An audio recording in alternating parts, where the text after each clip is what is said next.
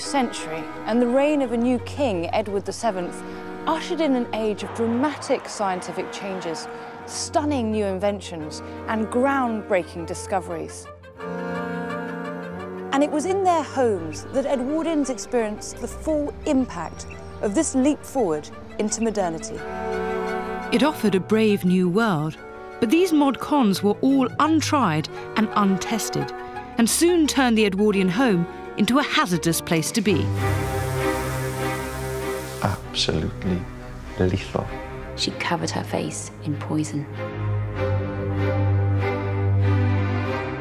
Vogue was advertising arsenic soap for that offending pimple. Products that were brilliant, maybe not so brilliant, and downright dangerous. Because they're so fine, they're easy to inhale. When you breathe in, they can get deep into the lungs and they stick there. I'm going to search out these hidden killers and reveal how science both created them and then solved the problems they caused. Welcome to the perilous world of the real Edwardian home.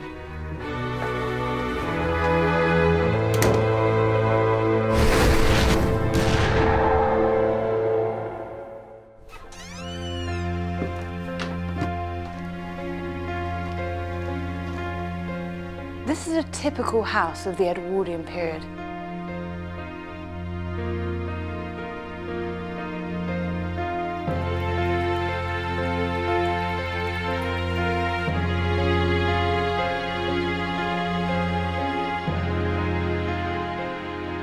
It not only looked more modern than the houses of the Victorians, it even sounded different.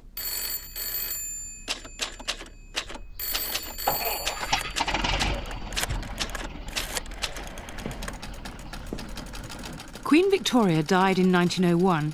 Her son, Edward VII, became king, and the era that bore his name began as the new century got underway. And it seemed as though a world of opportunity was opening up. H.G. Wells summed up the spirit of the age perfectly when he wrote that Queen Victoria, like a great paperweight, sat on men's minds, and when she was removed, their ideas blew all over the place, haphazardly. In other words, her death created the perfect conditions for new ideas to flourish, and this, of course, had an impact on the home. In the first five years of Edward VII's reign, over 140,000 British patents were granted. But if that's your blooming game, I intend to do the same. Cause a little of what you fancy does you good. Like the Victorians before them, the new Edwardian middle classes had the spare cash to purchase products that would make their home lives more comfortable. The most exciting new invention on the market was electricity. It would not only transform every room of the Edwardian house, but it would make possible a whole host of new domestic inventions and gadgets. If there's one thing we take for granted, it's that this works. But imagine how incredible it must have been when it was introduced. This clean, invisible, magical energy that transformed the Edwardian evening into day. So, what problems could there possibly be? Electricity in our modern homes is subject to all kinds of regulations, but the unsuspecting Edwardian had no idea what damage it could do. When it was first invented, it was considered to be quite magical. It was clean, of course, and it was, uh, they thought, I guess they thought it was safe, and it uh, meant they could do things that they couldn't do before. They could put on a light at the turn of a switch. It completely transformed the amenities within the ordinary domestic house. It was in the late 19th century that the components needed for electrification began to be developed. The vital invention was made by both Joseph Swan in Britain and Thomas Edison in America the incandescent light bulb. Streetlights came first, and then in the Edwardian period, individual companies began to produce electricity to offer to domestic households. Gas lighting and heating had become popular in Victorian times, but it was a dirty source. As well as being potentially explosive, it left a residue of grime. Electric light seemed to offer the perfect alternative. It might seem an obvious thing that electricity should replace gas, but at the time, um, electricity companies and gas companies were very much in competition. People had just got used to gaslighting and now they're faced with a new technology, something else which they've been told to sort of take on and adopt in their lives. This is um, instructions about how you'd use your Edison electric light. And it says, do not attempt to light with match, simply turn key on wall by the door. Um, sounds quite bonkers to us today that you have to explain it in that way. We know how we operate our electricity, we know we go to the light switch, but then that wasn't so obvious. At the turn of the century, electricity was far more expensive than gas, but it was heavily marketed by the supply companies who could see the possibilities and the profits. We get key figures like Lord and Lady Randolph Churchill choose to have it in their homes, and this is sort of widely reported in the press, so it becomes um, more attractive and almost glamorous for some of the middle classes to take it on. The newspapers were full of the wonders of electricity. For example, the Dundee Courier in December 1906 praised its romantic story and said that its rapid advance is more wonderful than any tale of wild Arabian fiction. It seemed chic, modern, and desirable.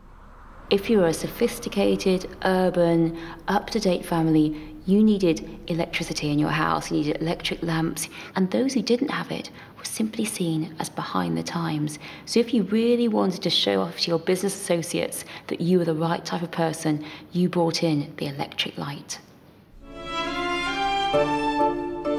And so gradually, Edwardian homes began to be lit by electricity. But it was a completely new, little understood force.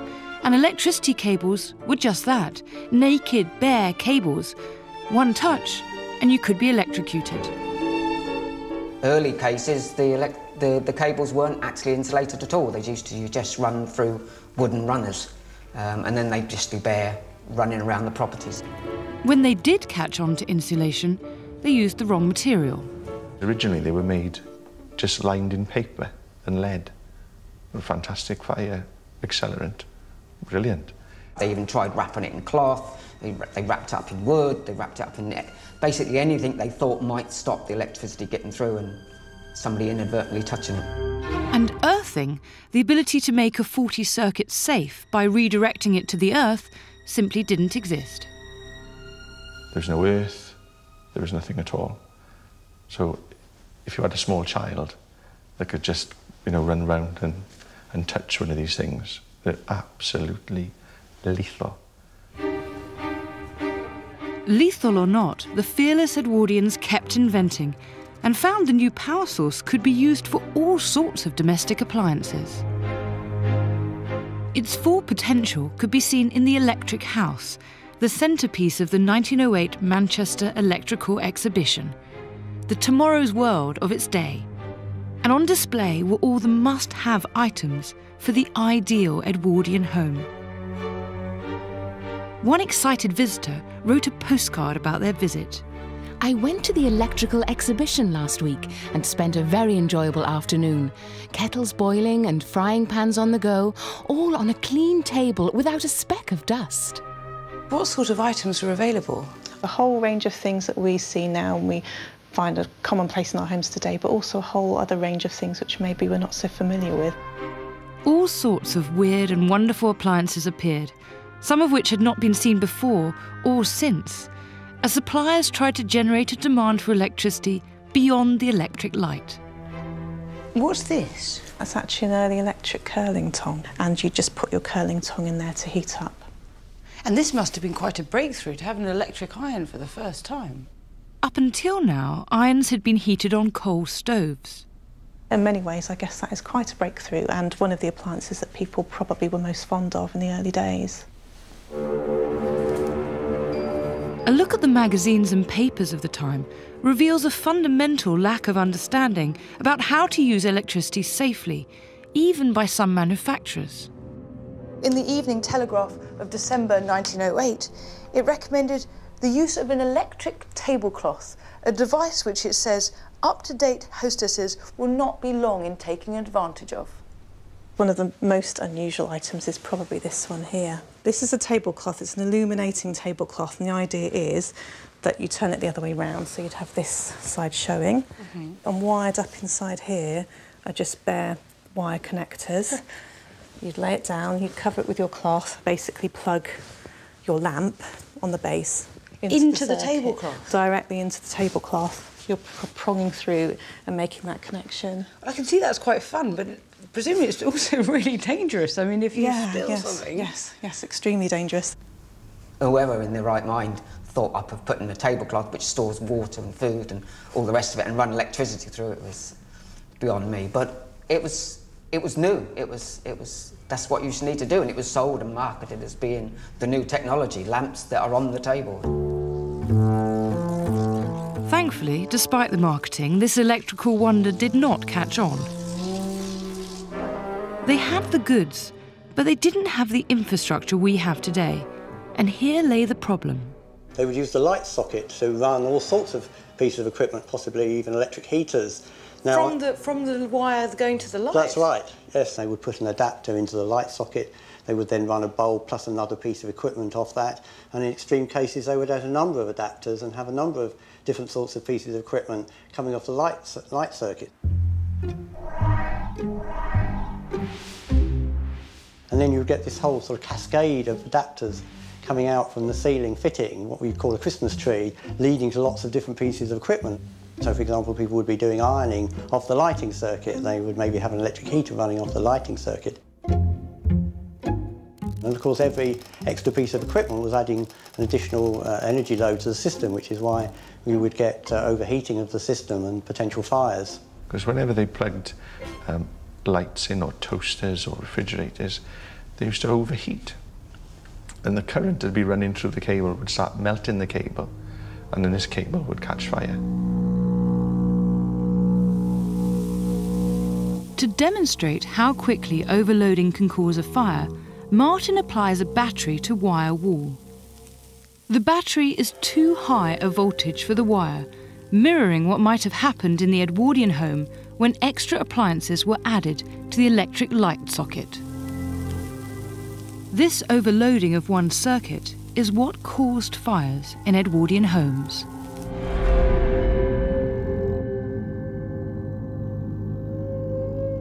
it wasn't safety regulated in the way ours is now.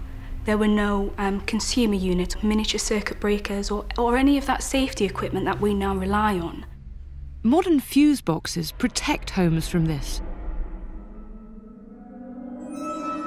As soon as the system becomes overloaded, it cuts out.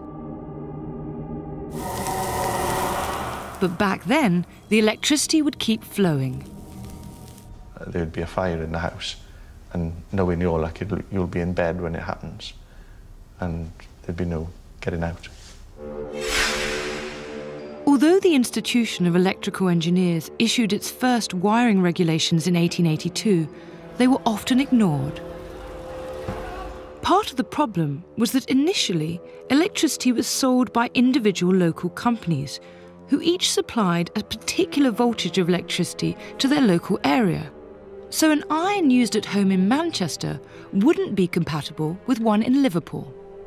It was down to the individual generating company what voltage and what ampage they, they put the electricity into the properties. So even though you understood one system, it didn't mean that if you went further down the road and bought the electricity from somebody else, it would be exactly the same.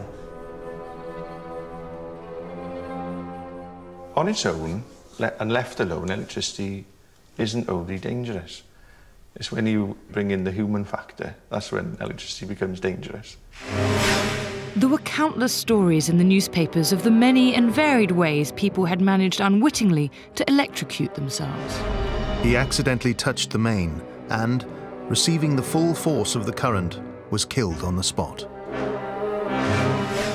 The deceased, while larking, swung himself upon an electric light bracket which broke, and the electric current passed through his body.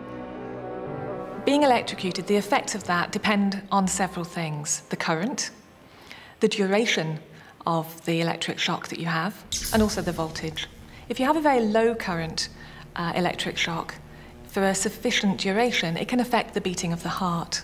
If you disturb that electrical flow around the heart, each of the individual heart muscles can uh, contract individually, and so there's no concerted effort.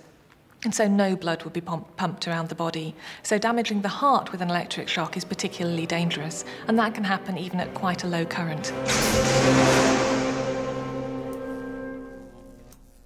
If you have a very high current, you typically get a burn where the electricity enters and possibly leaves the body, and that may cause instant death as it causes the heart to stop. Though slow to address the dangers of electricity, Edwardians credited it with all kinds of health giving properties, which led to some strange practices. What is that? It's got a sort of space age element to it, hasn't it? Does, it? It's it? well used. Um, it's an early sunray lamp. It was meant to encourage sort of good health. The theory was that this would um, make you healthier, and there are adverts from a bit later on where they show babies positioned in front of these.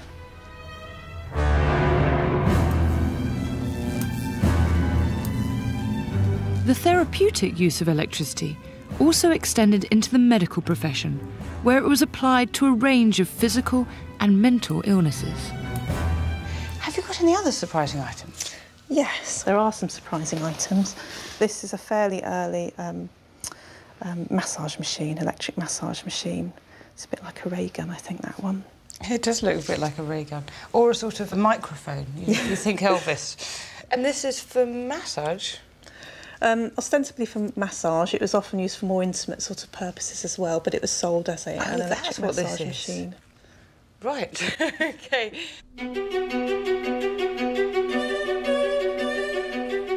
Some of the things Edwardians got up to in their own homes revealed how little they understood this deadly force.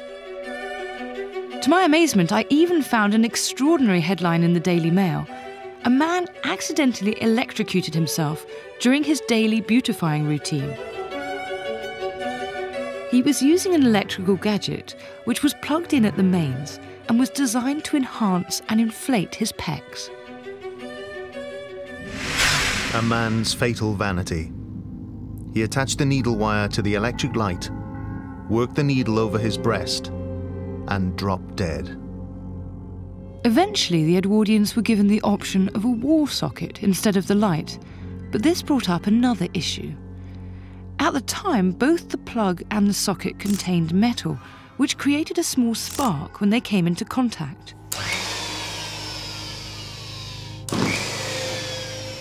The spark is typical of any piece of equipment which is, is being, uh, being plugged in or plugged out when the equipment is live. So as two pieces of metal um, come into contact or come out of contact when they are alive, then a spark will occur. As most Edwardian homes were still using a lot of gas, which was prone to leaking, this small spark could be enough to cause a big explosion. Explosion just waiting to happen from the tiniest amount of gas and your windows and doors, and you will be on the street waiting for the, undertaker, I would imagine. Over time, improvements were applied that lessened the dangers. It wasn't until 1908, 1909 that Edison came up with the idea of a rubber socket which went onto a plug which had a fuse in, which obviously saved any shocks when you were touching it. It saved any, any problems with insulating, and it saved this problem of overheating. But with its varying currents, assortment of sockets and plugs, no earth or fuse box, Edwardian electricity was a dangerous business, especially as it was often installed and maintained by DIY enthusiasts. Anyone could really wire up their home, so potentially you've got people not knowing what they're doing getting into big trouble. Even one of Edison's um, friends killed himself, he electrocuted himself, and that's somebody who knew, who knew what he was doing. By 1915, there were 600 separate electricity suppliers across the country. The demands of war led the government to take steps to set up electricity commissions to make the generation and supply of electricity more efficient. And then the, the government actually made a, a declaration that we would all use the same current. Uh, voltage, it would all come through the same way, and it was the start of the, the grid. Despite all its early dangers, electricity became the utility of choice for the modern Edwardian. By 1913, most of the one million new middle class homes that had been built in Britain had electricity wired in, and people were learning to use it with care.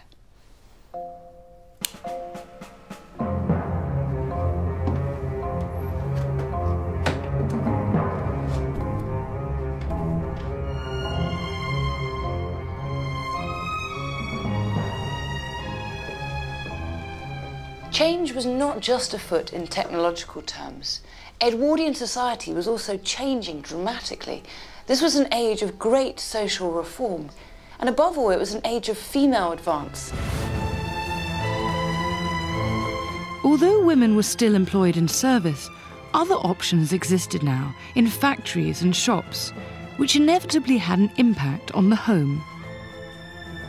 Increasingly, the Edwardian housewife, particularly the middle and lower class housewife, she really felt she shouldn't have to spend her entire day doing housework. And so there was a real growth of labour saving devices, of ways in which the Edwardian woman could save her time, could not be doing the drudgery of the old days.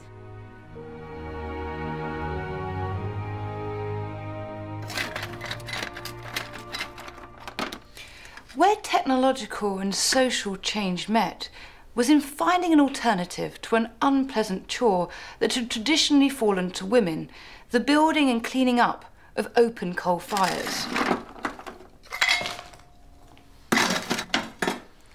Anyone who could find a way to dispense with this onerous task was onto a winner. By the turn of the century, in cities particularly, gas and electric fires were rivaling coal. Some of them used a new wonder material. A resilient mineral that was non-flammable, insulating and provided clean energy. The new material was hailed as a miracle. Its name, asbestos.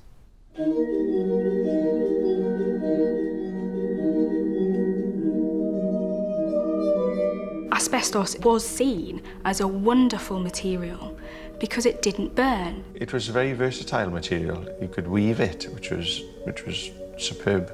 Um, you could use it as, a, as an insulator. It's good for soundproofing, it's good for thermal efficiency, it was good for fire resistance. It was really the wonder stuff. It was strong and it was very, very cheap. Asbestos is naturally occurring and had been used for thousands of years, but never on an industrial scale. By 1909, it was embedded in all sorts of manufacturing processes. In the late Edwardian period, they were turning 190,000 metric tons of asbestos over. They were mining it. Phenomenal amount coming out of South Africa, Russia, Canada, America, all being imported into Britain and then off to the asbestos factories. Every day was like Christmas Day because when they walked through the factory, it was snowing and it was asbestos dust. Edwardians were happily working with what we now know to be a carcinogenic killer. The first person to alert the authorities to the possibility there could be a problem was a factory inspector. The earliest account of the health hazard of working with asbestos came from Lucy Deane, one of the first female inspectors of factories in the UK. Writing in 1898, she included asbestos work as one of the four dusty occupations under observation that year, quote, on account of their easily demonstrated danger to the health of workers.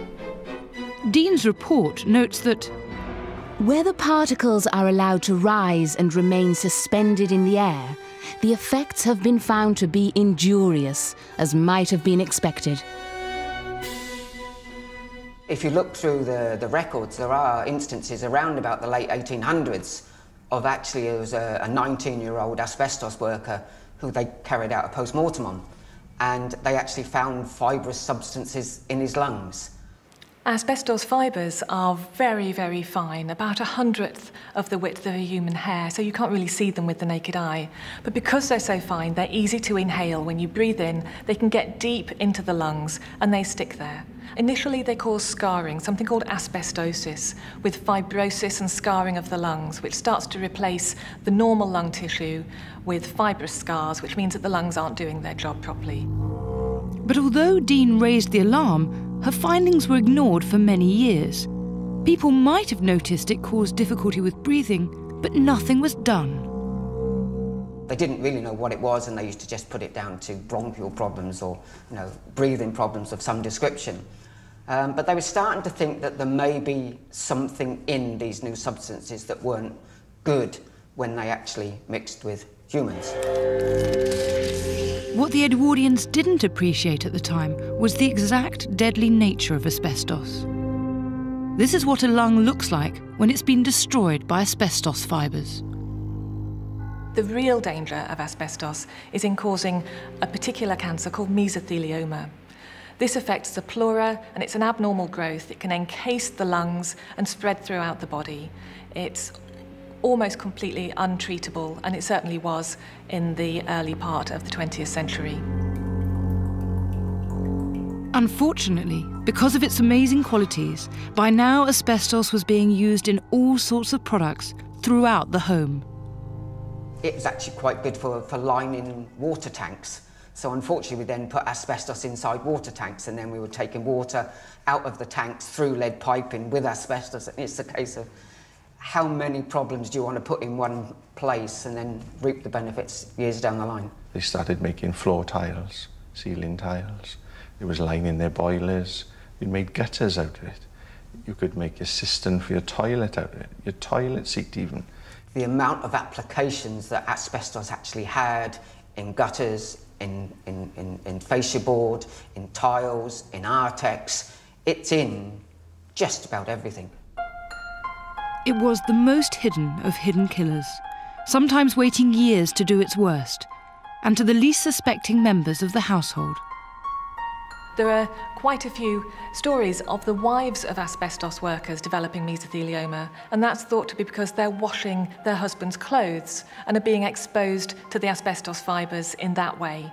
And so it's not just people who work with asbestos who can develop these problems.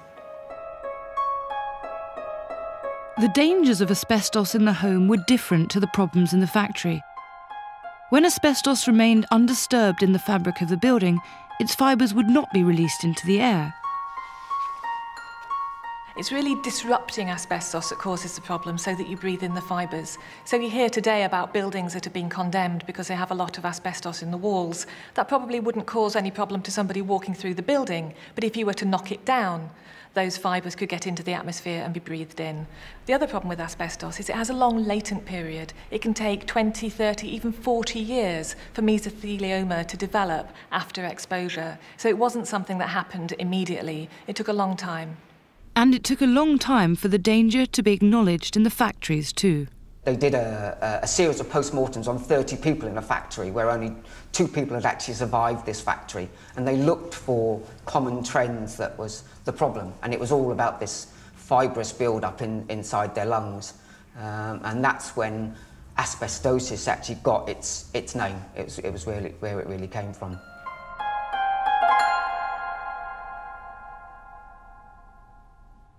Partly because of cover ups, partly because of a desire not to know, the dangers of asbestos didn't become public until the 1920s. The first asbestosis diagnosis by the British Medical Journal was not until 1924, and legislation took much longer to follow. Mrs. Lily Harriott died from fibrosis of the lung caused by inhaling of asbestos dust. I, I think sometimes it was ignorance, um, other times it was for profit. There was so much money to make out of it. The death rate in factories led to a decline in the use of asbestos, and it is banned today, but it remains hidden in many buildings. A lot of people don't actually know about the widespread applications of asbestos that are, are, are no doubt still, still in properties today. Even now, over a hundred years later, there are annually more deaths in the UK due to mesothelioma than deaths caused by road accidents. And it could be argued we won't know the final death toll for another hundred years. To this day, asbestos remains a true hidden killer.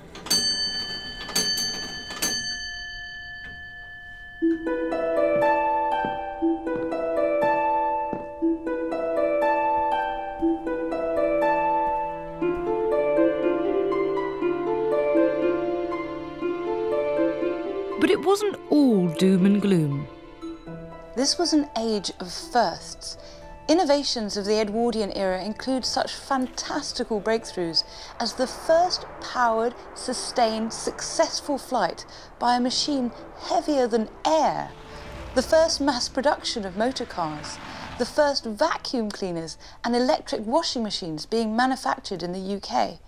In other words, the Edwardians were laying the foundations of our modern world. Lots of these were the big inventions that transformed life outside the home, but there were also the smaller items that made day to day domestic life easier and more comfortable, things we take for granted today. All of the items and activities that the modern middle class Edwardian needed could be bought from these pages. A hundred years previously, most of them would probably not have existed, let alone have been available for mass consumption.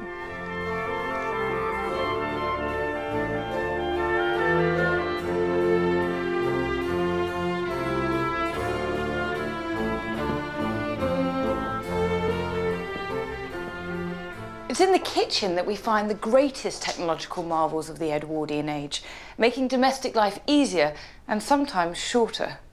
If you were really up to date and had money to burn, what could be more desirable than a brand new refrigerator? Food preservation was a major issue in Edwardian times. Initially, they made purpose built cold cabinets to store food. They were carved out of timber, lined with uh, sawdust, it could be rabbit fur, and then your item was put inside and packed with ice. Ice was shipped in from the Arctic and distributed to people's homes, but no matter how well insulated, the ice would not last long. They wanted some other way of doing it, and technology gave them the answer, I suppose. So, what came after ice? How did we get to the first fridges that used chemicals? To find out, I've come to Southbank University in London to meet refrigeration expert Professor Graham Maidment. So, is this enormous thing an early fridge? Yeah, it's an early invention of a fridge, dates probably about 1870, that sort of thing. This unlikely looking fridge has been rebuilt from early designs.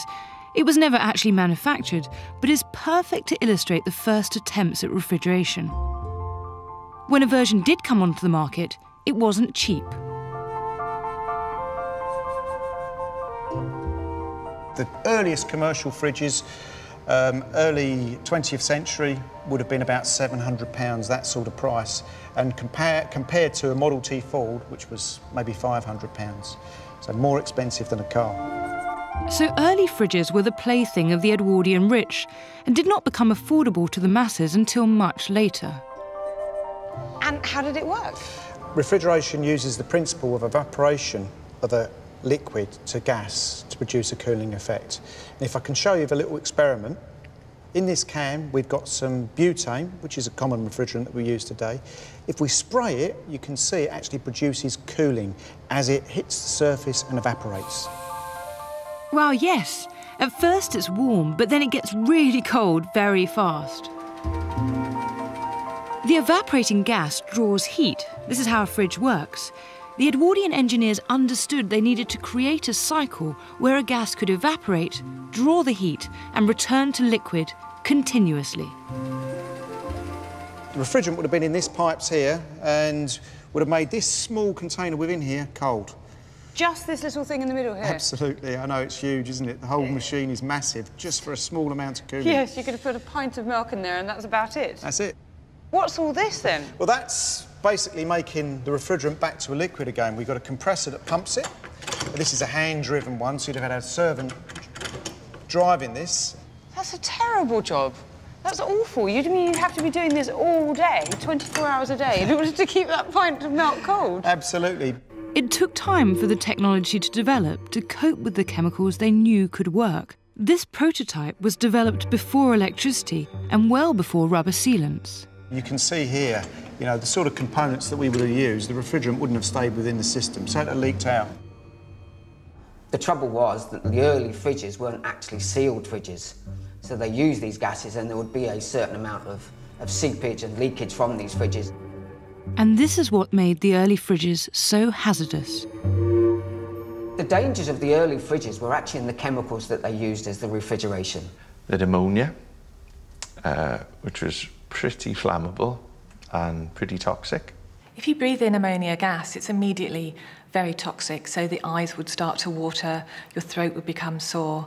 It can cause chest pain, difficulty in breathing, and if you have enough of it, it can cause circulatory collapse and even death. You had sulfur dioxide, which was extremely toxic, and then you had methyl chloride.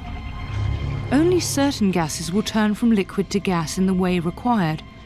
Unfortunately, these properties also made them exceptionally dangerous. Gases like methyl chloride also had other uses.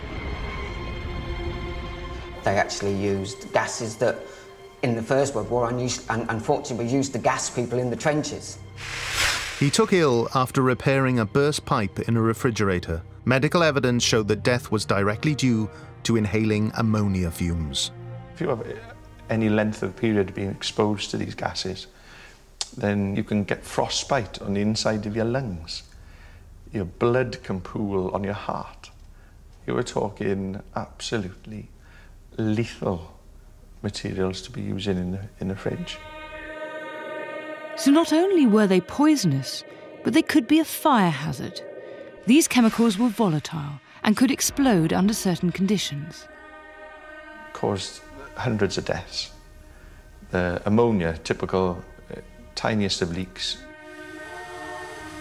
and there's just an explosion waiting to happen.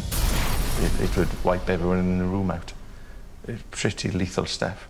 Ether will auto-ignite with a temperature of about 160 degrees C, which is quite a low temperature. And actually, there's lots of things in our house that operate with a temperature of 160 degrees C. So switching on a light switch potentially could do that. So when the Edwardians were introducing all sorts of electric items into their homes, they were putting things that could actually set the ether on fire without a naked flame. That's right. So that, that's why it's not a good refrigerant for a domestic fridge.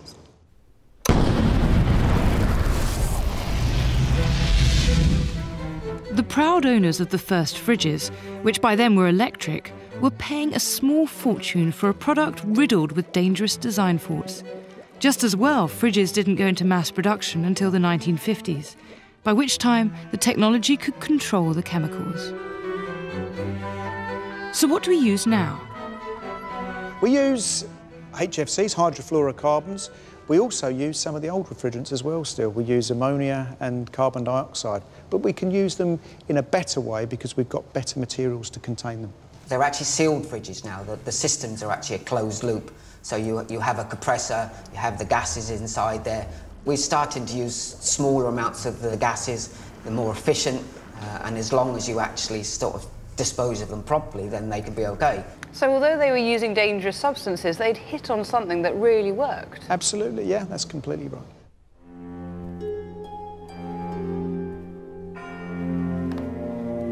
I'm going upstairs to the bedroom in search of the next killer. One that particularly affected half the population.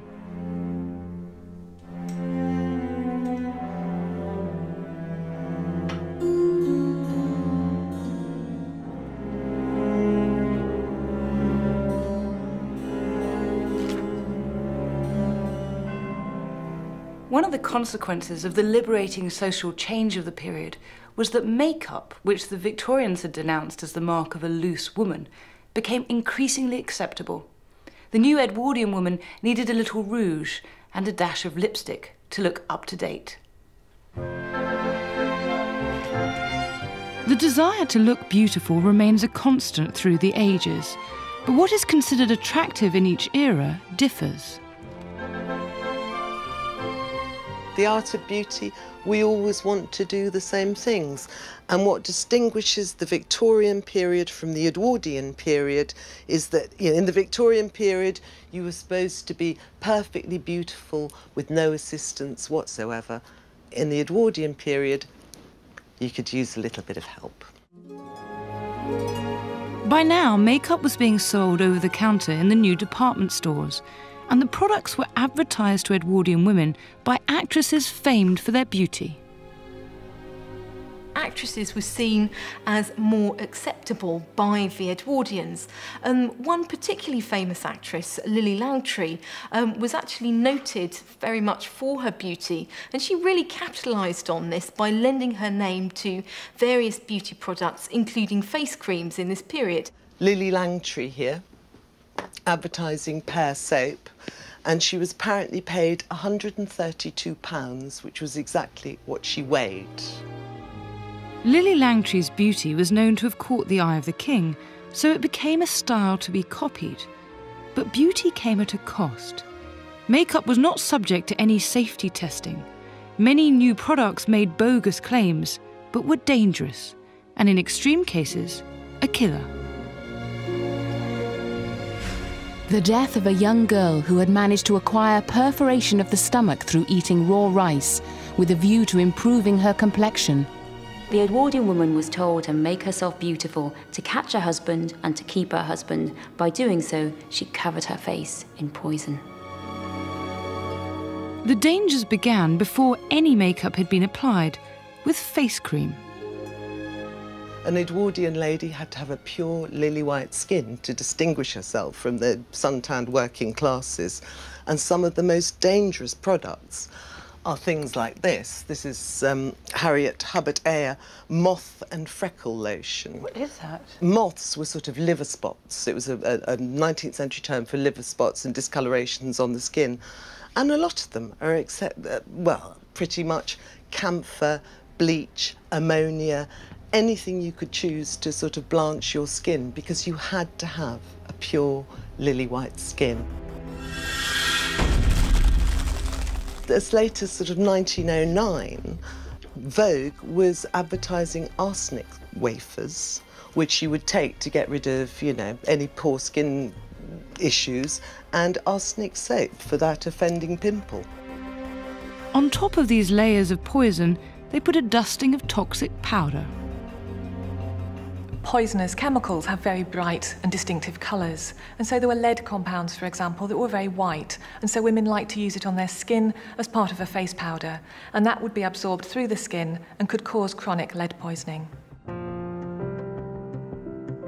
Different things were used for rouge. Uh, cochineal, which was made out of crushed insects, that's fine, but vermilion came from mercury. Mercury is a heavy metal and it's very bad for the body. It can affect several different organs, particularly the brain, the lungs, and the kidneys. It can cause problems with sensation, um, unable to feel things, maybe unable to see, uh, and can cause you to go mad eventually. Even the eyes weren't safe. There was a product for darkening your eyelashes and your eyebrows, which actually made your cornea fall off. And several people went blind. One of the things that women liked to use in the early 20th century was belladonna. This is obtained from a plant, and when drops are put in the eyes, it makes the pupils dilate, which is meant to signify desire and arousal, and so made women look more attractive.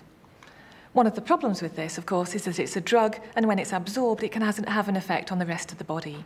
At best, it would probably have caused blurred vision and a dry mouth, and at worst, a very irregular heartbeat and even blindness. You didn't know what was in these things. There's no description of, of, of content or anything like that because it, well, there was no legal obligation to do so.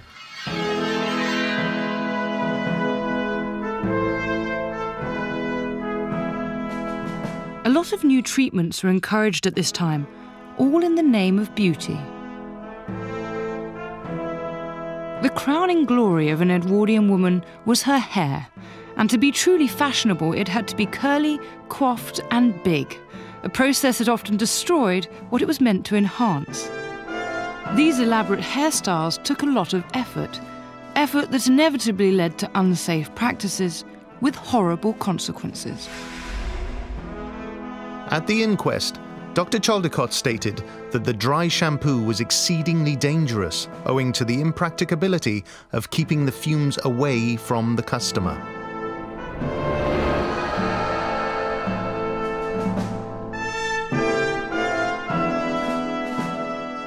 There was a big problem in the Edwardian period of female baldness. Why were women going bald? People were using very dangerous hair dyes, which was one of the causes. But the other big cause, I mean, you'd have been fine with your fabulous curls, but everybody curled their hair. And so if you're doing that, so allow me to demonstrate, this would give you a sort of a crimp. Yes. For travelling, you might have a little one like that. So you were curling your hair the whole time, and the dangers of burning with this were absolutely extreme. Tongs like these were heated in the fire and applied straight onto the hair, often burning it off. But worse was to follow. Carl Nessler came up with the first permanent waving machine in 1906, but not before he'd burnt his wife's hair off twice. Goodness me. So definitely, there's a reason for baldness, if ever I saw one. Nessler's Wonder Machine involved wrapping the hair around rods and covering it with alkaline paste and, most dangerously of all, asbestos. Gas was then used to steam the curls tight. It would take six hours. It was extremely popular. Once your hair was right, you had the challenge of adding a hat, and so introduced another danger. Look at that whacking grey hat. You couldn't put your hat on your head without huge hat pins. These were up to 14 inches long. And that was another very dangerous thing because you've got all that incredibly sort of sharp pointed end. Ladies were banned from wearing unprotected hat pins on omnibuses in case they scratched people. Suffragettes had their hat pins removed when they went into court in case they stabbed people. And Edwardian novelists did do lovely little sort of vignettes of ladies preserving their virtue by stabbing an aggressor and a dirty old man with a hat pin.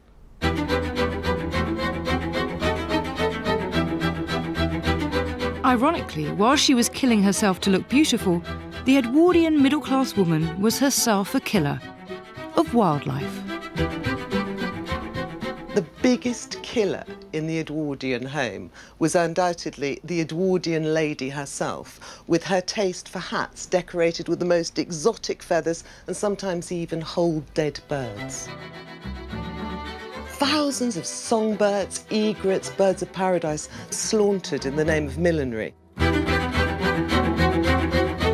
A public outcry led to the end of the fashion for dead birds on hats and to the establishment of the Royal Society for the Prevention of Cruelty to Birds in 1904. Women, however, continued to be the willing victims of the beauty industry. Bald, blind, burnt, scarred, Edwardian makeup was a dangerous business. In fact, the early 20th century was poised on the verge of the mass production of cosmetics and the explosion of a whole new industry. One that would test their products first before releasing them on consumers. Standing on the shoulders of their ingenious Victorian forefathers, Edwardian inventors continued to expand the scientific horizon. And yet, Edwardian optimism was not as unambiguously confident and certain as the heady days of the mid Victorian period. Things were moving fast, and the speed and consequences of change rightly concerned many commentators. Their great hopes of the future were matched by serious anxieties about what that future might bring, and many of their fears were justified. For their new explosive freedom introduced into the family home some of the biggest killers ever.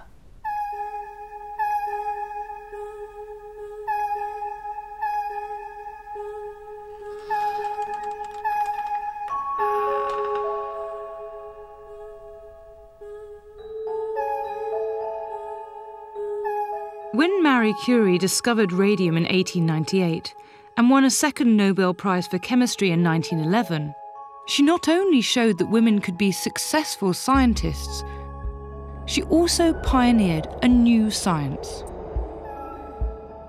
In terms of the home, though, the discovery took killers to a nuclear level.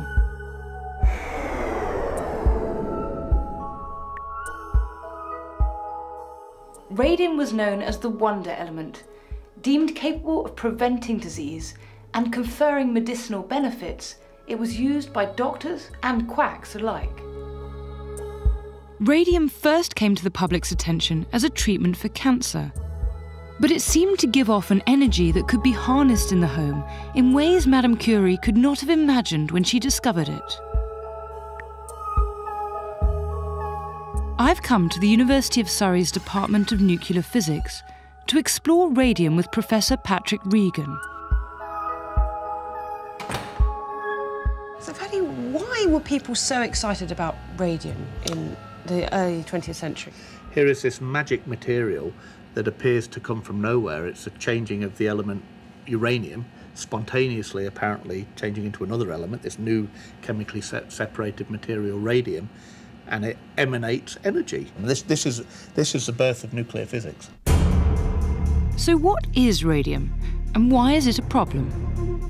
Radium is a radioactive compound, and so most of its effects are, are, due to the radioactivity. It has a very long half life. That means that it remains radioactive for years and years. And so you don't just swallow a bit and within 10 minutes the radioactivity is gone. It continues to do you harm, probably for the rest of your life. One of the problems is that the body treats radium like calcium, and so it absorbs it into the bones. Um, and that's where the radium does a lot of its damage. It damages the bone marrow, which is the place where our body makes all of the blood cells that it needs. This is called aplastic anemia, when all of the bone marrow is destroyed so that none of your blood products are made. And this is one of the awful side effects of radium. But this horror had yet to unfold in the early 20th century. The burdening scientific discoveries of the period provided the Edwardians with what seemed, at least at first, as fun. Radium, as isolated by Marie Curie, was an incredible discovery. It was a really world changing discovery. What we might see as most important, as in medical use, that wasn't what the Edwardians were interested in. They were delighted by the fact it could create luminous paint. The public imagination was fired by the idea of radium. Its energy and luminosity thrilled and excited them, leading to a radium craze in Europe in 1903. Corsets, for example, corsets that kept you warm for anti-rheumatism. You could buy radium socks, radium underwear. You could get chocolate with radium in it. This be a hidden killer? Radium was even available in toothpaste and water. It was the energy that radium emitted that made it appeal to the Edwardians. They truly believed that by ingesting radium, the body would absorb this energy, so they used it in everything they could.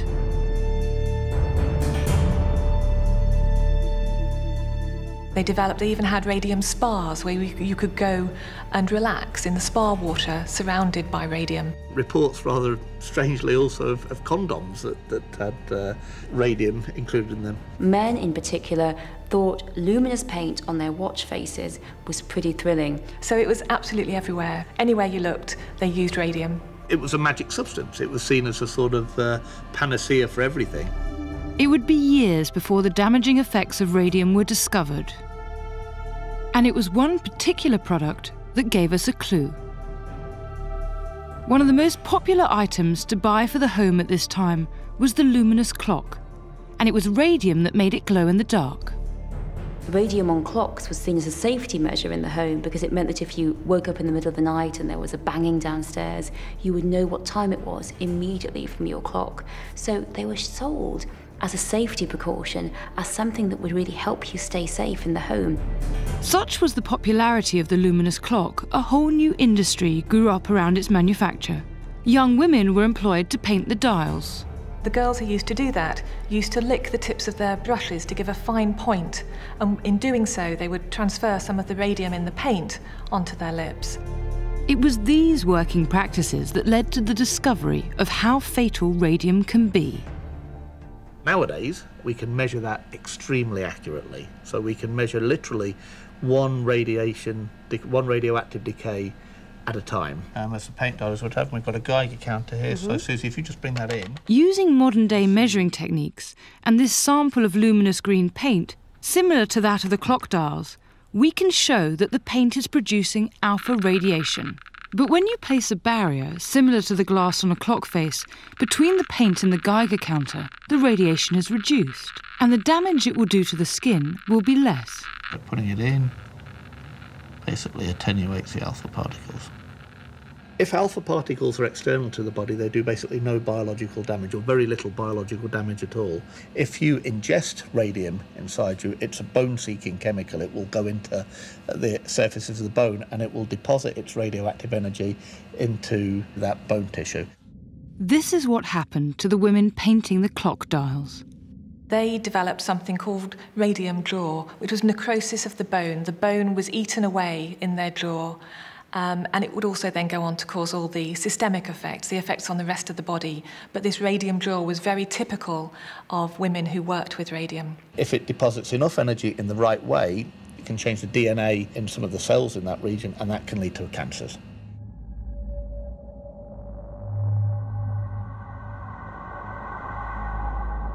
These days, we have a much better understanding of radium, what it is and how to deal with it. The tragic thing is what was known and what was hidden during the Edwardian period. One of the interesting things about this is that we believe that the people who owned the factories that were using radium and the scientists who were developing it knew of some of the dangers and took great care not to expose themselves to radium, but unfortunately they didn't take the same precautions with their workers. That was really one of the first pieces of strong scientific empirical evidence that ingestion of radium was deleterious to health. They even tried to smear the reputation of the women by suggesting that a lot of the problems that they had were due to syphilis and not radium at all.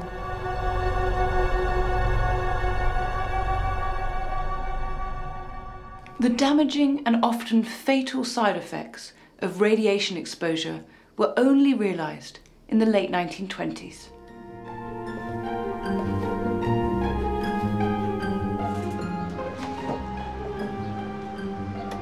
Much of the progress of the Edwardian era still shapes us today, and some of the problems are still with us too. Over time, though, the killers were gradually unveiled. And as a result, these mod cons and innovations continued to develop. But without this first burst of creativity, we wouldn't be where we are today, or have benefited from the resulting safety measures. With all the new materials and technologies we're exposed to these days, we may well be storing up our own hidden killers for the future.